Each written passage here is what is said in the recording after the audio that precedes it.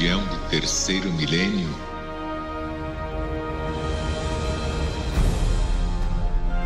A religião de Deus, do Cristo e do Espírito Santo? É mais que toda a religião. É toda a ciência. É toda a filosofia. É toda a política. E toda a moral.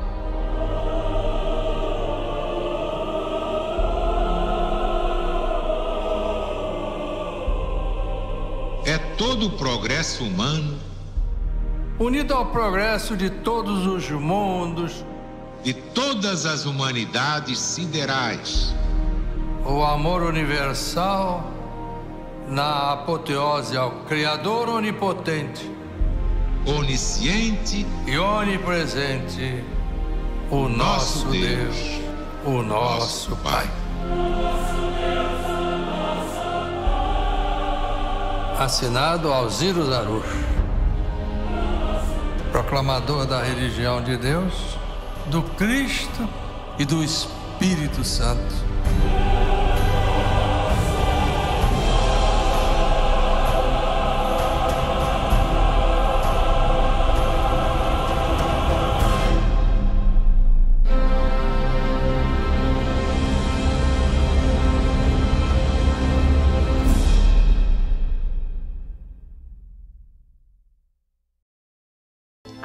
Acompanhamos a definição da religião do amor universal, de autoria do saudoso irmão Alziro Zarur, na interpretação dele, e do irmão Paiva Neto, hoje com o canto do coral ecumênico Boa Vontade em espanhol. E agora unimos as nossas vozes para clamar ao Cristo de Deus por sua volta triunfal. Ora vem, meu Pai celeste, ora, ora vem, excelsa luz. luz. Ora vem, divino mestre Ora vem, Senhor Jesus.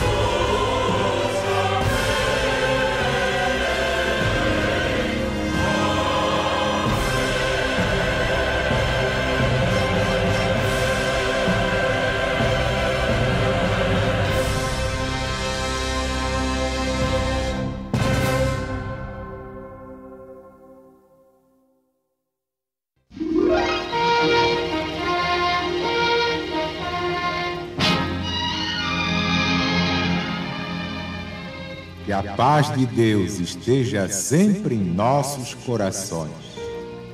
Vamos falar com Deus.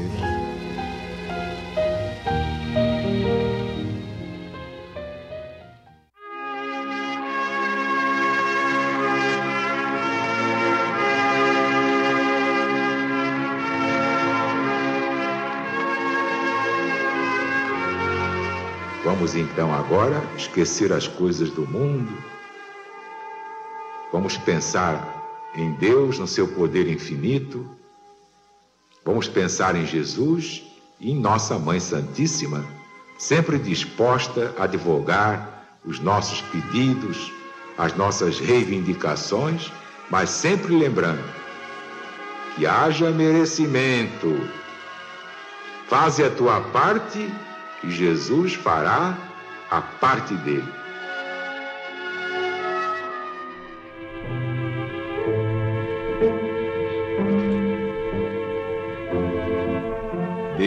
Nosso Pai, que sois todo poder e bondade, dai força àqueles que passam pela provação, dai luz àqueles que procuram a verdade, ponde no coração do homem a compaixão e a caridade. Deus, Dai ao viajor a estrela guia, ao aflito a consolação, ao doente o repouso. Induzi o culpado ao arrependimento. Dai ao espírito a verdade, à criança o guia, ao órfão o pai. Senhor, que a vossa bondade se estenda sobre tudo que criastes. Piedade, Senhor, para aqueles que não vos conhecem. Esperança para aqueles que sofrem. Que a vossa bondade permita aos Espíritos Consoladores derramarem por toda parte a paz a esperança, a fé. Ó oh Deus, um raio, uma centelha do vosso amor pode abrasar a terra. Deixai-nos beber nas fontes dessa bondade fecunda e infinita, e todas as lágrimas secarão, todas as dores se acalmarão e um só coração. Um só pensamento subirá até vós, como um grito de reconhecimento e de amor. Como Moisés sobre a montanha, nós vos esperamos com os braços abertos. Ó bondade, ó beleza, ó perfeição nós queremos de alguma sorte merecer a vossa misericórdia. Deus, dai-nos força, ajudai o nosso progresso, a fim de subirmos até vós. Dai-nos a caridade pura e a humildade. Dai-nos a fé e a razão Dai-nos a simplicidade, que fará de nossas almas o espelho onde se refletirá a vossa divina imagem.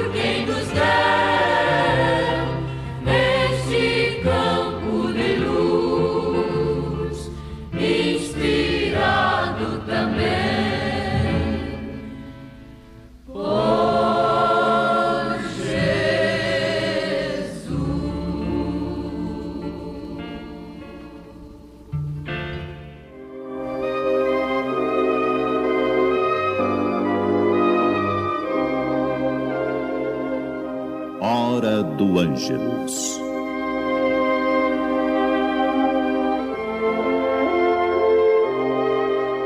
A Cruzada de Oração e Vigilância apresenta a mensagem da Ave Maria, na palavra do proclamador da religião de Deus, Alziro Zarur.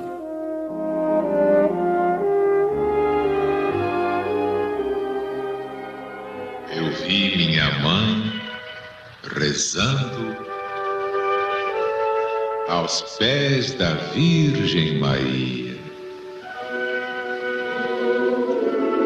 Era uma santa escutando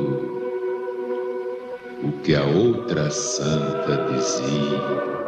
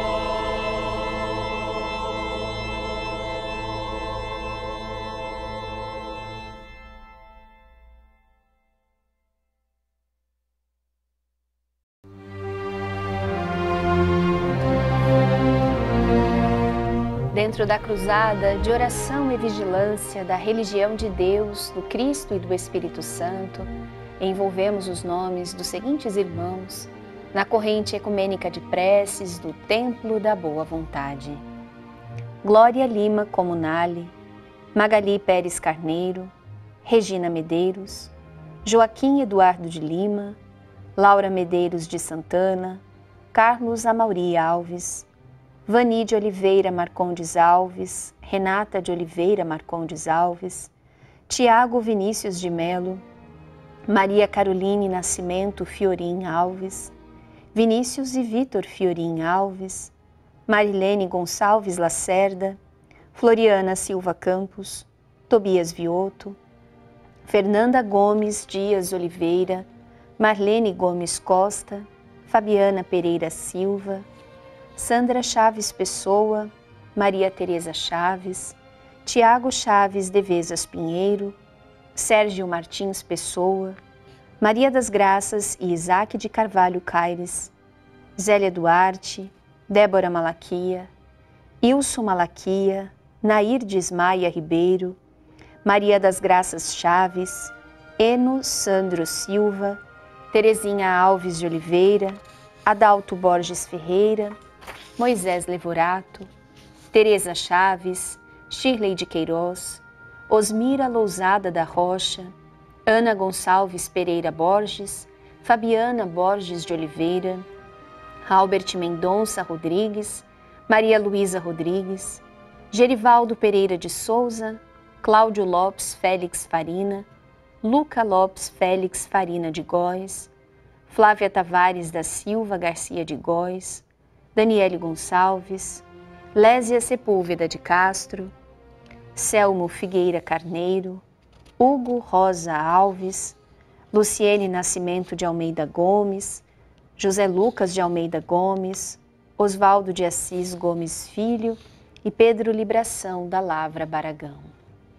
E na grande pátria espiritual, porque os mortos não morrem, Antônio Carlos Andrade da Silva, Angelina Conceição Nascimento de Almeida, Patrocínio Alves de Carvalho, João de Oliveira Marcondes, Marluce Alves da Silva, Sérgio Donizete, Nora Ferrari Júnior, Conceição Marques e Pedro Alves Maldonado, Geralda Pereira Marques, Rosângela Vidal Maldonado, Nelly Grande de Carvalho e Terezinha de Jesus da Silva Chaves além de milhares de outros nomes inscritos no sagrado livro de preces do Templo da Boa Vontade. A pirâmide dos espíritos luminosos, a pirâmide das almas benditas, o templo do ecumenismo divino. Sob as vibrações do Santo Evangelho Apocalipse de Jesus para os simples de coração. Jesus, Cristo ecumênico, estadista celeste, cura o Brasil e liberta o mundo.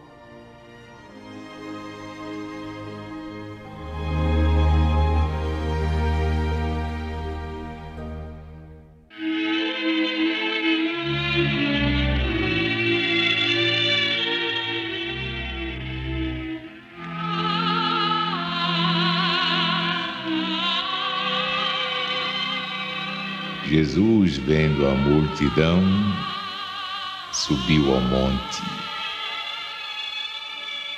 e ensinava aos seus discípulos, dizendo: Bem-aventurados os humildes, porque deles é o reino do céu. Bem-aventurados os que choram, porque serão consolados pelo próprio Deus.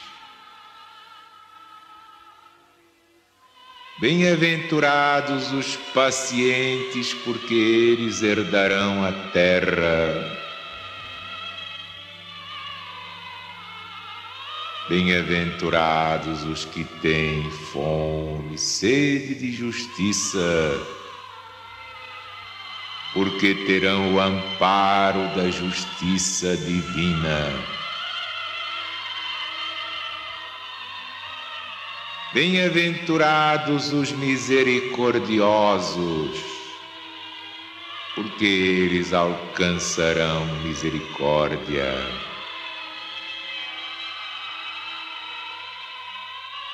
Bem-aventurados os limpos de coração, porque eles verão Deus face a face. Bem-aventurados os pacificadores, porque serão chamados filhos de Deus.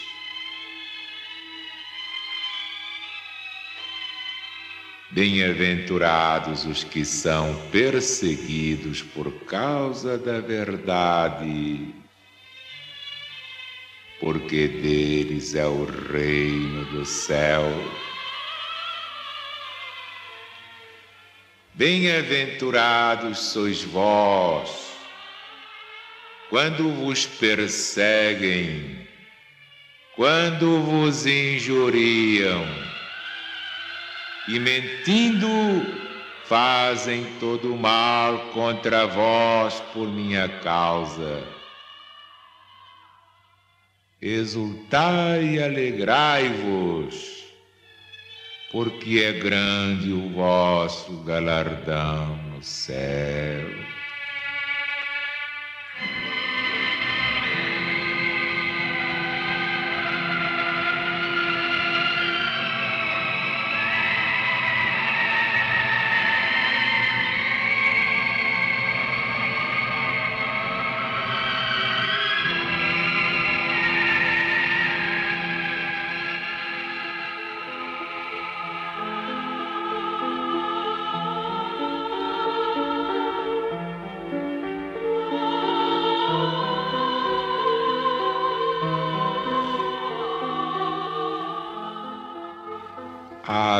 Maria. Senhora do amor que ampara e redime.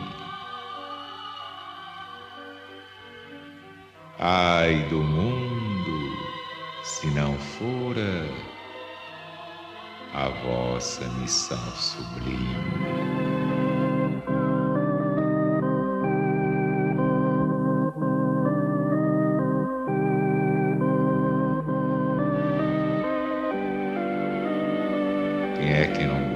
Sofrimento qualquer? Quem é que não chora sua lágrima secreta? Em nome do infinito amor de nosso Senhor Jesus Cristo, atende a esta súplica.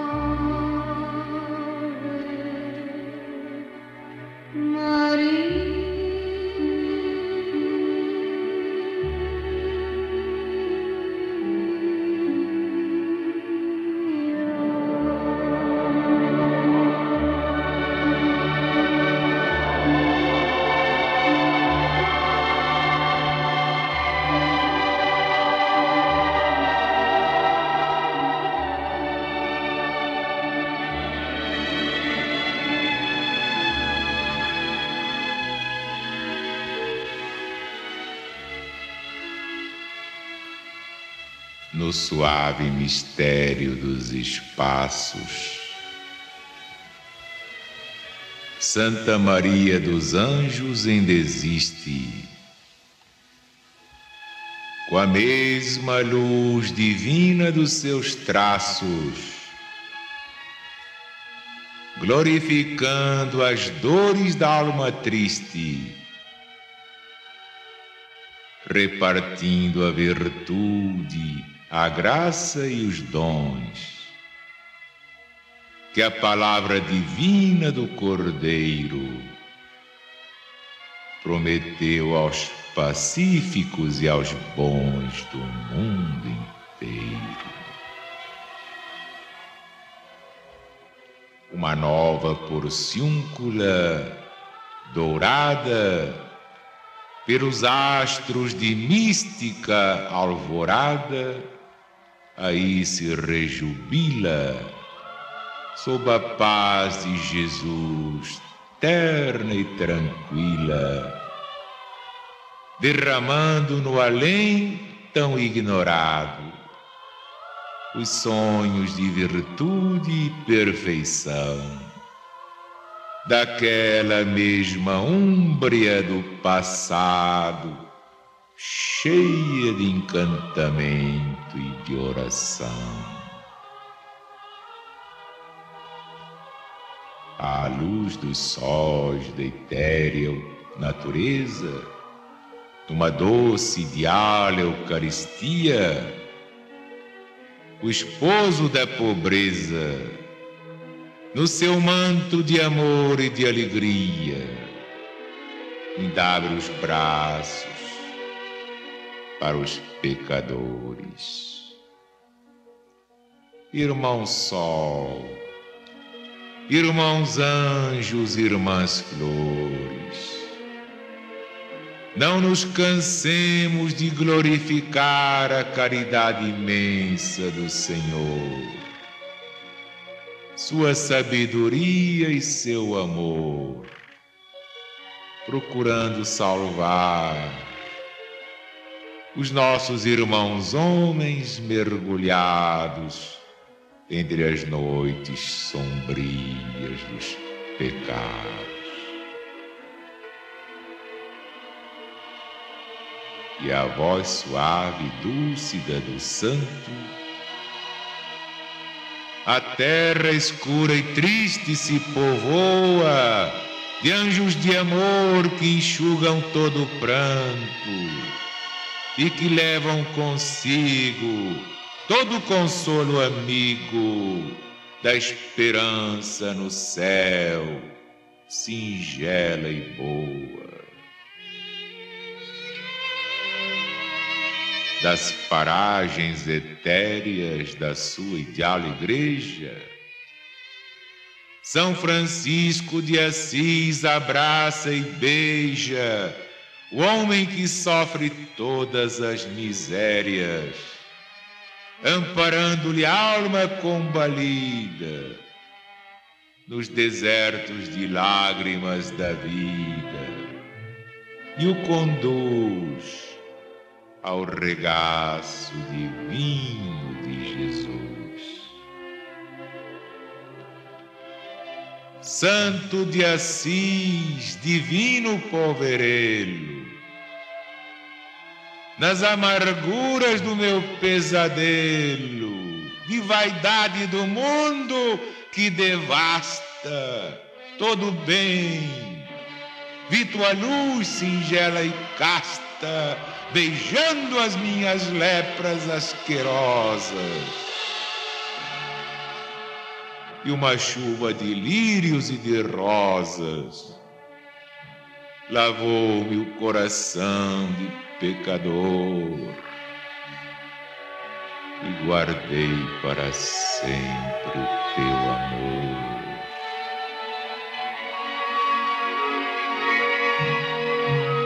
Santo de Assis, irmão da caridade, que me curaste as lepras e a cegueira. Depois da morte, a luz da imensidade, quero ainda abençoar-te a vida inteira.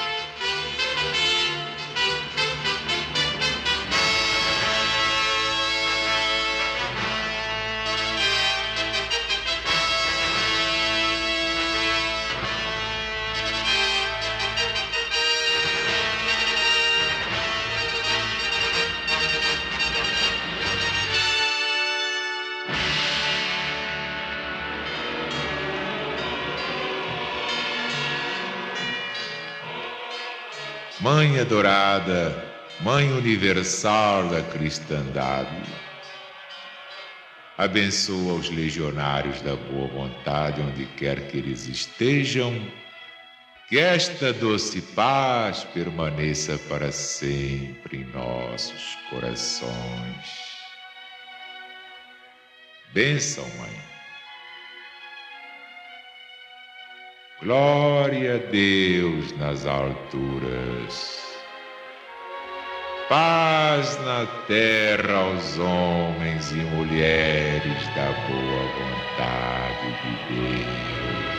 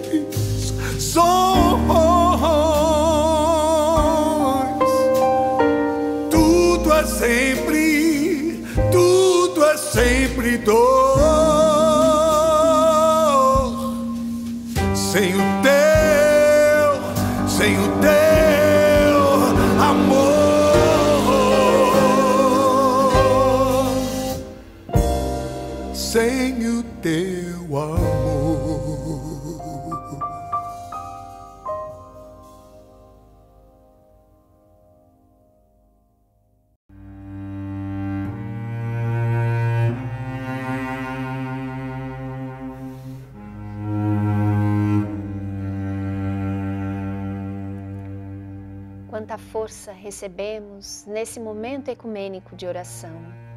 Que saibamos conservar em nós as energias que vêm do Cristo. para isso, convidamos você a fazer parte da cerimônia da água fluidificada. Nós aqui nos lembramos do que Jesus nos ensinou no seu Evangelho. Ele disse: Pedi e Deus vos dará. Buscai e achareis o bem. Batei e a porta vos será aberta. E nós confiamos em Jesus. Por isso, sob a Sua divina palavra, faremos os nossos pedidos a Deus. E com fé realizante, vamos beber da água fluidificada.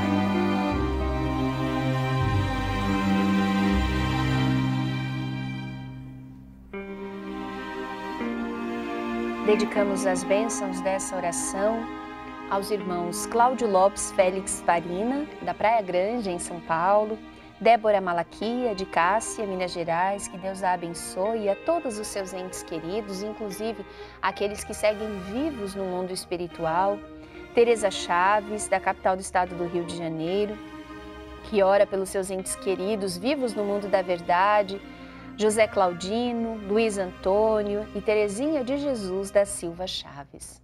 Oramos por Shirley de Queiroz, de São Paulo, capital, Daniel e Sueli Marques, da capital do estado do Rio de Janeiro, recebendo a proteção de Jesus, Elizabeth Mareschi, de Valinhos, São Paulo, Terezinha Alves de Oliveira, de São Paulo, capital. Oramos por Regina Celi Rocha de Oto, também da capital paulista, Oramos pela irmã Georgette Soares Pereira, de Campo Grande, na capital do estado do Rio de Janeiro, que inclusive na sua mensagem manda o seu abraço. Ela escreve assim: ao nosso grande amigo José de Paiva Neto. Que ele receba então o um abraço da irmã Georgette e de todos nós.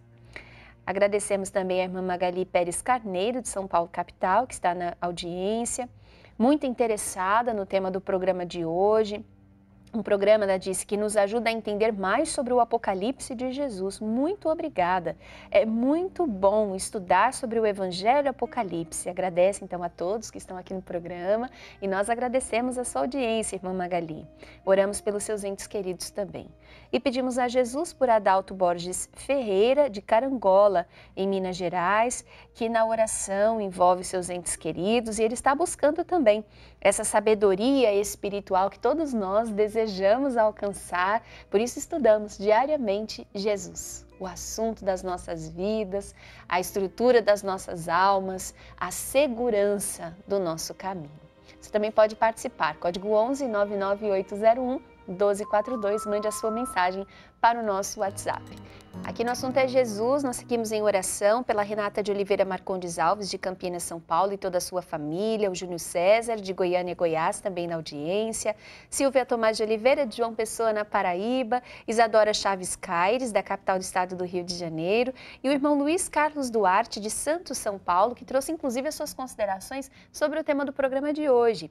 Ele diz assim: gostaria de participar do programa de hoje, o assunto é Jesus, pedindo orações, estamos orando pelo irmão Luiz Carlos e toda a família, e externando minha preocupação com a poluição das águas pluviais e sua recaptação desde as ruas até o seu retorno ao mar, levando nossa poluição e dificultando muitas vezes o reaproveitamento das águas, prejudicando o ciclo das chuvas. Então, aqui, irmão Luiz Carlos, lembrando que nós fazemos muitas interferências, né? recebemos e interceptamos né, esses recursos e muitas vezes os poluímos. Foi uma ponderação muito importante. Nós compartilhamos dessa sua preocupação, irmão Luiz Carlos, e vamos retomar a reflexão sobre esse assunto, passando a primeira palavra para o jovem legionário da Boa Vontade de Deus, André Luiz da Silva. Ele mora em Manuel Ribas, no Paraná, e é jovem legionário da Boa Vontade, como nós dissemos, e técnico ambiental. Vamos ouvir. Deus está presente. Me chamo André Luiz da Silva, aqui de Manuel Ribas, no Paraná. E hoje vamos conversar um pouquinho sobre o meio ambiente. Meio ambiente e espiritualidade, né? É, é muito interessante a gente abordar que meio ambiente é tudo onde a gente vive, né? desde que esse ambiente seja um ambiente é, industrial, dentro de uma cidade, uma grande metrópole, ou num campo, numa área de mata. Então, meio ambiente é onde a gente está naquele momento, é onde a gente vive, é na nossa casa. E, os cuidados que com o meio ambiente a gente consegue ter eles todos os dias, né? A gente consegue preservar o meio ambiente todos os dias, desde o amanhecer até o anoitecer. A gente está em algum ambiente que a gente consegue fazer algo para melhorar aquele local, né? Com espiritualidade, porque é, Jesus nos deu uma oportunidade muito grande, que é esse planeta que Ele criou com tanto amor e carinho, mas que a gente precisa proteger, proteger de diversas formas, né? podendo reduzir os nossos gastos, né? É, reutilizar muitos e muitos ah, materiais antes de descartar, né? É, reduzir o consumo de alimentos ou desperdício de alimentos, né? proteger com amor os animais que foi Jesus que criou. Então existem diversas formas de colaborar com o nosso planeta, com o nosso meio ambiente, porque o nosso planeta é o meio ambiente que Jesus criou com tanto amor e carinho para nossa própria evolução espiritual, né? Então, é, eu acho que é muito importante a gente analisar dessa forma que o meio ambiente é tudo aonde a gente vive, não apenas as áreas de mata, mas sim, a, sim aonde a gente estiver né, em qualquer momento ok? Um abraço a todos e Deus está presente. Viva Jesus em nossos corações para sempre. Viva Jesus em nossos corações para sempre. Aprendemos muito com André Luiz da Silva. Ele mora em Manuel Ribas, no Paraná, jovem ecumênico da Boa Vontade de Deus e técnico ambiental. E Isabela, achei tão importante o André lembrar gente. Meio ambiente é tudo. Ah, é porque se a gente não se lembra disso, a gente meio que se justifica na inércia, sabe? Eu só poderia fazer alguma coisa se eu estivesse na floresta, se eu estivesse numa área de preservação, se eu estivesse exposta, digamos, no campo, né? Numa área que a gente atribui, a gente chama de natureza, né? Mas onde é que a gente vive que não é natureza, né? Todo o planeta é natureza. E, e cada coisa que a gente é, constrói, que a gente altera, né? Dos itens que estão aqui no nosso estúdio, a tecnologia que faz a gente chegar até você, o alimento que a gente consumiu para ter energia para estar tá aqui hoje, tudo isso é natureza. Então, se por um lado, né, isso faz a gente ter uma noção muito maior do nosso impacto, por outro, a gente também fica muito mais atento às possibilidades de intervenção benéfica em relação ao planeta. Né? E isso derruba um muro, né, que a gente coloca assim na nossa linguagem, inclusive, quando a gente pensa assim, não, o meio ambiente é lá, né, onde eu tô aqui, eu tô na cidade, estou numa região é, industrial, enfim, numa região urbana.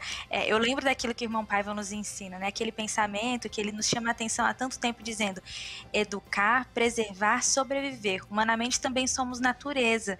Então a gente precisa se perceber como parte de tudo isso. Senão a gente realmente coloca pela nossa linguagem e consequentemente pelo nosso jeito de ver é, o, planeta como uma coisa distante, como algo que está somente naquelas imagens maravilhosas que a gente vê, por exemplo, da Amazônia, da Mata Atlântica, enfim.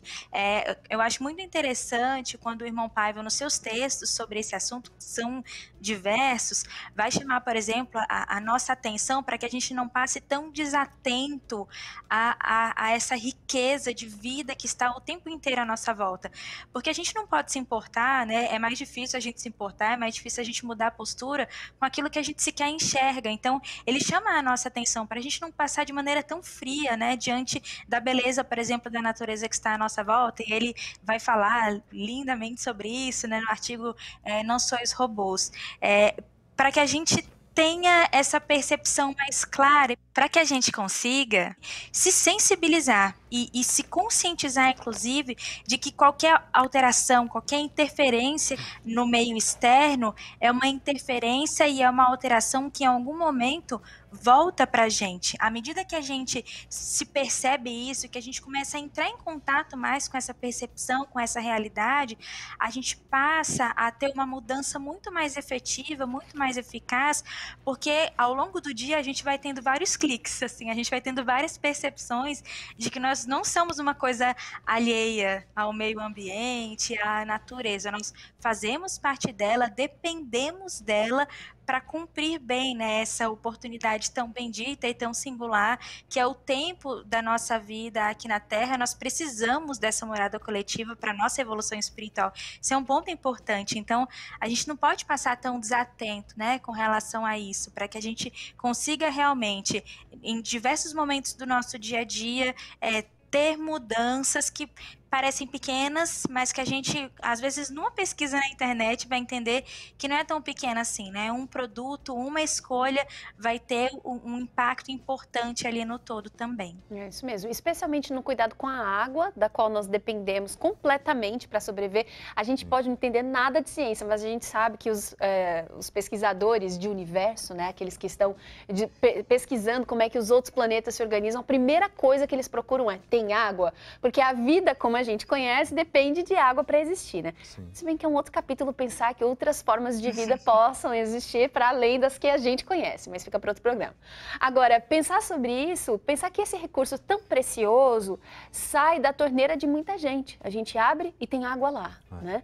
É, a gente banaliza esse encontro porque para muita gente esse encontro quase que é natural, automático, né? Sim. Mas isso não apaga o fato de que tem muita gente sem saneamento básico, tem muita gente que vive, né, infelizmente, ciclos imensos de racionamento. Né? E isso impacta saúde, isso impacta desenvolvimento na educação, porque isso é, imprime para essas crianças, jovens e adultos muitas outras dificuldades formativas, né? além de outros danos né, de desenvolvimento. Então, é, muitas vezes a gente banaliza o contato com esse recurso, né, porque ele está na vida de muitos de nós, mas a gente não pode deixar isso acontecer, né? Hum. Essa responsabilidade que é espiritual é, e, e, que a gente não dependa da falta para valorizar, Nicolas, que a gente não dependa de uma multa na conta, né, para prestar atenção no uso que a gente está fazendo, que a gente aprenda pelo amor, que é constantemente o apelo do Cristo ao nosso coração. Exatamente, até é, coloco dentro desse ponto a questão também da percepção, como a própria Isabel estava falando, porque, é, veja, no Evangelho, Jesus, quando ele é questionado sobre qual é o maior mandamento, aí é, ele pergunta para quem o perguntou, né, para o jovem, qual você pensa que é? Ele fala, ama a Deus sobre todas as coisas e, é, e o próximo como a ti mesmo. Ele fala, faça isso e, né, e, e segue a vida, é, viverás bem. E Jesus traz o que é uma lei acima dessa questão do amar ao próximo como a si mesmo, que é amai-vos uns aos outros como eu vos amei, como Cristo nos ama. E no, em que sentido? Porque Jesus traz uma percepção do coletivo, do próximo, de você olhar o outro, não só a si mesmo, mas também olhar o outro. E aí é a questão, porque quando nós temos apenas olhares para